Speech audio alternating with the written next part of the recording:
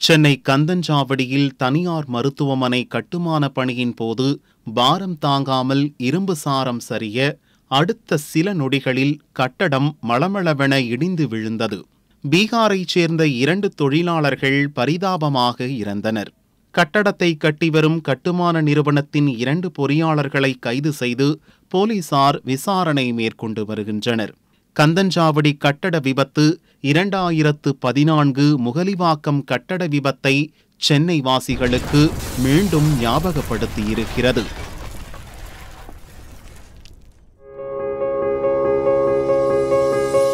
தமிழகத்தில் கட்டுமான பணிகளில் வடகிழக்கு மாநில தொழிலாளர்கள் அதிகளவில் ஈடுபடுத்தப்படுகின்றனர்.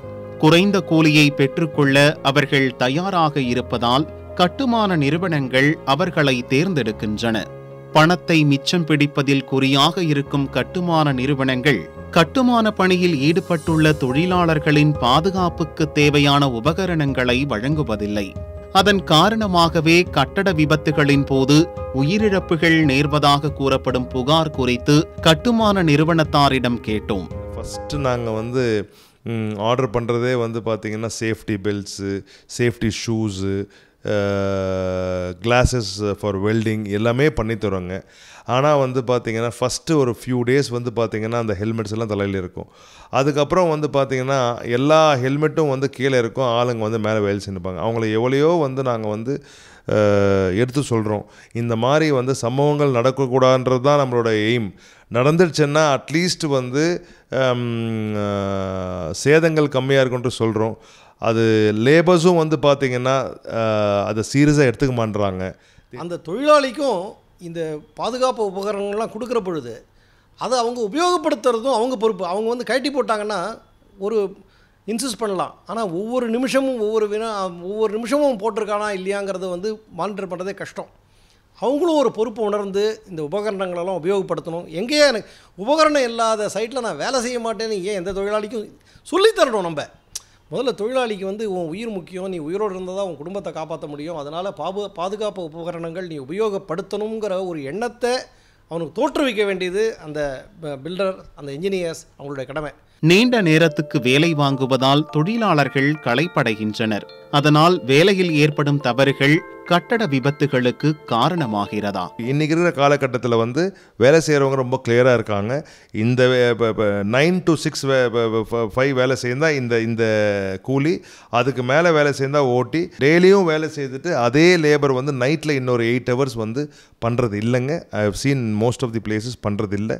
அந்த மாதிரி வேலை வாங்குறதுல ஒரு நாள் வேலை வாங்க முடியும். அடுத்த நாள் வந்து அவங்க லீவ் எடுத்துருவாங்க. அஸ்திவாரம் தோண்டுவது முதல் கட்டட பணி முடியும் வரை கட்டுமான நிறுவனங்கள் கடைபிடிக்க வேண்டிய விதிமுறைகள் என்னென்ன? Survey of the plot soil test அதுக்கப்புறம் வந்து சாயில் டெஸ்ட்டை வந்து ஸ்ட்ரக்சரல்கிட்ட கொடுத்து structural drawings for how many whatever floors நீங்கள் வந்து ஸ்டில் ப்ளஸ் டூ பண்ணுறீங்களா ஃபோர் பண்ணுறீங்களா எத்தனை மாடி பண்ணாலும் proper structural drawings and consultants for plumbing electrical with all these things and அடுத்தது இப்போது ரிவர் சாண்டு வந்து கடந்த ஒரு ரெண்டு வருஷமாக இருக்கிற பற்றாக்குறையால் இன்றைக்கி எல்லாருமே வந்து மேனுஃபேக்சர்ட் சாண்டு போயாச்சு இன்றைக்கி சிமெண்ட் வந்து பார்த்திங்கன்னா we buy from reputed people steel we buy from reputed people so அந்த மாதிரி வந்து பார்த்திங்கன்னா அதுக்கு அடுத்தது ப்ளம்பிங் அண்டு ப்ளம்பிங் எலக்ட்ரிக்கல் எல்லா மெட்டீரியலுமே நம்ம வந்து ஐஎஸ்ஓ மெட்டீரியல்ஸ் வாங்குறதுனால வாங்கணுன்றது தான் எங்களோட கருத்து. வாங்கினா ஒரு ப்ராப்பரான பில்டிங்கை வந்து தயாரித்து கொடுக்க முடியுங்க. தொடர் கட்டட விபத்துகளால் அபார்ட்மெண்ட்ஸில் வீடு வாங்க ஒரு தரப்பினர் பயப்படுகின்றனர். அபார்ட்மெண்ட்ஸில் வீடு வாங்குபவர்கள் கவனிக்க வேண்டிய அம்சங்கள் பற்றி சில டிப்ஸ் சொல்லுங்களேன். இது வந்து மக்கள் தனு தங்களை பார்த்துக்கணும். பயந்துட்டு உடனே ஐயோ எந்த பில்டர்ட்டையும் வாங்க வேண்டாம். தவறு. எத்தனை பில்டிங் வருது? எவ்வளவோ பில்டிங் கட்டுறாங்க. இதோட பில்டர்ஸ் வந்து ஒரு ஒரு ரெப்யூட்டட் பில்டர்ஸ் கட்டுறது ஏதாவது இது மாதிரி ஆயிருக்கா பாருங்க. மௌலிவாக்கத்தில் நடந்தது வந்து ரெப்யூட்டேஷன் இல்லாத ஒரு அனுபவம் இல்லாத ஒரு பில்டர் அதுக்காக இப்போ அனுபவம் இல்லாத செய்யக்கூடாதா? செய்யலாம்.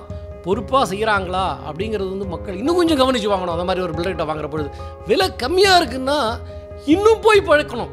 விலை அதிகமாக இருந்தால் ஏன் இவ்வளோ என்ன என்ன ஆயிரம் கேள்வி கேட்குறாங்களே விலை கம்மியாக இருந்தால் ஆராய்ச்சி அதிகம் பண்ணணும். எப்படியா விலை கம்மியாக கொடுக்க முடியுது? லேண்ட் இவ்வளோ விலை வைக்குது சிமெண்ட் இவ்வளோ விலை வைக்குது லேபர் இவ்வளோ ஆகுது.